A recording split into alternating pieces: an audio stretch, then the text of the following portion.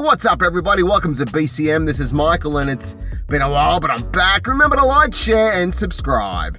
Stick around to the end to see what the experts have to say. I'll put a timestamp below, but first, I'll break down what I think. Sunday, the 29th of August, just around the corner, we'll see a novelty, technically sanctioned pro bout for Jake, the problem child, Paul, against his fourth opponent, making a boxing debut, but no stranger to the fight game, Tyron, the chosen one, Woodley. The fight will go down in Cleveland, Ohio. Paul, much to the chagrin of boxing purists, is back again and causing controversy by just being him. The fact that he takes on opponents whose striking ability can be characterized as subpar, or at least not a strong suit in their arsenal, Ben Askren is a prime example. Squat, squint, squint.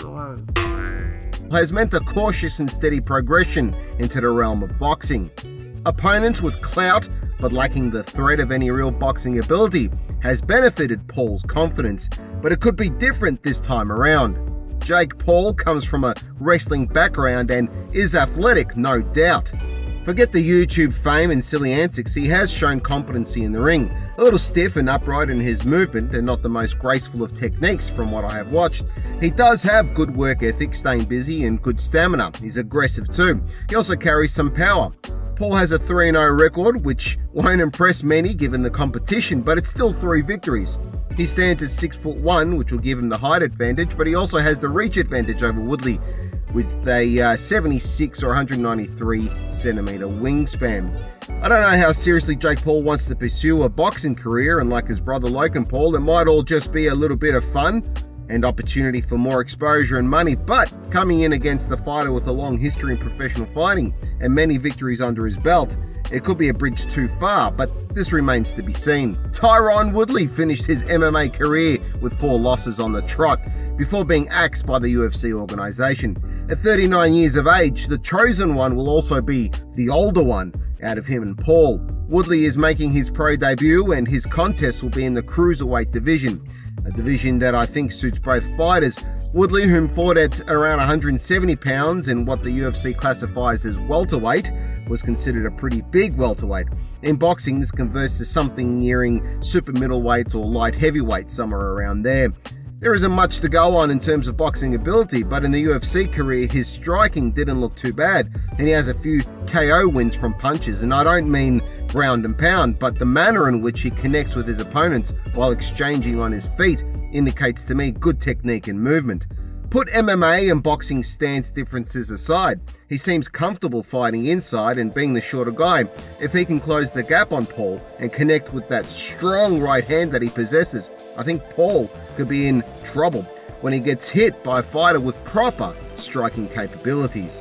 Paul hasn't experienced that as yet, so we will see how his chin handles it if this happens. The difference will be adjusting from fighting in 4 ounce gloves to the 10 ounce gloves in this fight, but UFC fighters are used to training in heavier sparring gloves, so any difference should be negligible.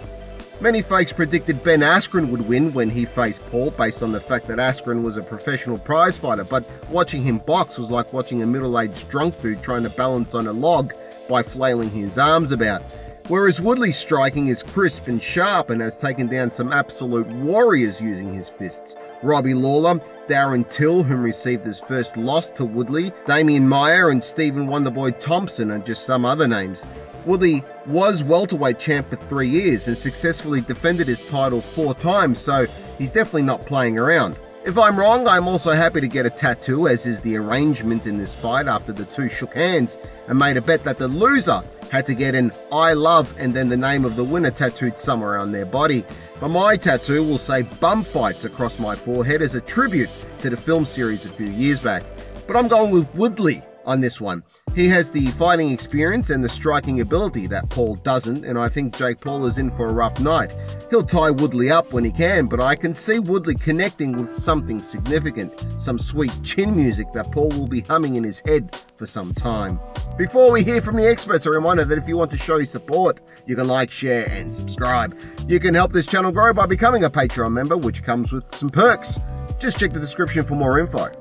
Life is a fight outside the ring, and if you are struggling with depression, anxiety, substance abuse, low self esteem, debt, sleepless nights, and so much more, I can tell you that I have been there and I have some crazy stories to share. But more importantly, I turned my life around, and my experiences might help you to do the same.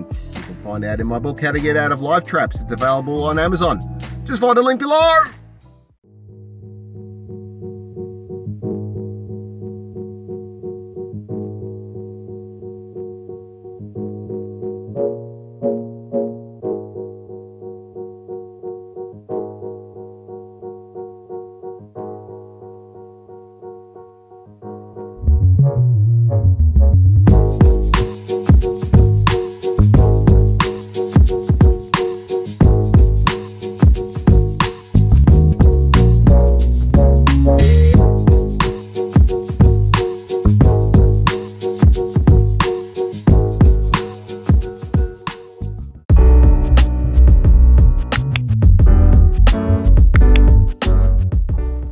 For an opportunity to make money? That cryptocurrency is so hot right now. I'm not a financial advisor, but it's pretty obvious that it is growing in popularity and utility, and many folks think that they have missed the boat on cryptocurrencies like Bitcoin, but they couldn't be further from the truth. You can mine Bitcoin on your laptop, PC, and mobile phone if they're half decent without having to splurge on expensive mining rigs. In fact, you can do it for free. This is not a paid sponsor. I would be in trouble with YouTube if it was and I didn't declare it. It's just simply a great opportunity and something that I'm doing. And CryptoTab can help you generate income. Click the links below and start earning money today!